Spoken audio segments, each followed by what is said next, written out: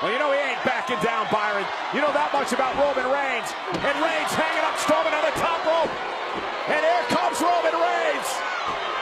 Superman punch to Strowman. But Strowman still stands. 100% or not, Roman Reigns came here for a fight. And another one, and Strowman.